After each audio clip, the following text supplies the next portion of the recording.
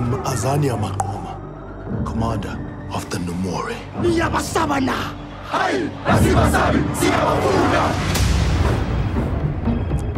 We live in the shadows, but today we come into the light. We're ready. Your justice belongs to the privileged elite, but we're going to change that.